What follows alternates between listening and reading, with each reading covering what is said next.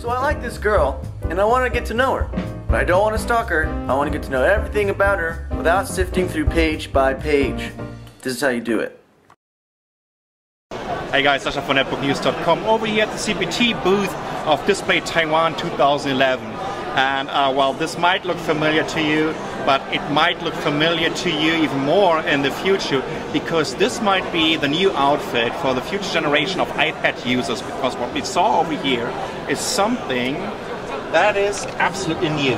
It looks like an iPad, and I tell you what, it is an iPad. You can see over here is the Apple logo, the shaped one, and there would be uh, some more significant symbols that will tell you that this is really an iPad. That's a 3G version of it. And look at this.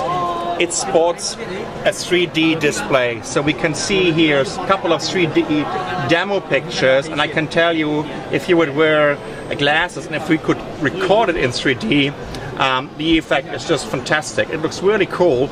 And in general, when we're looking at the display technologies for future iPad, um, just to let you know why Apple is really pushing forward high resolution because then they can split the image and then they can go for a 3D display. So this is the very first one and maybe a pretty good scoop because um, this might be the very first prototype of a future iPad with a 3D display.